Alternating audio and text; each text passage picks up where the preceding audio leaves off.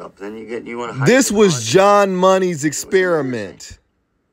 No, I mean, like John had him castrated and then tried to reassign him as a female. He would later perish from an overdose. It became evident to me this wasn't working at all.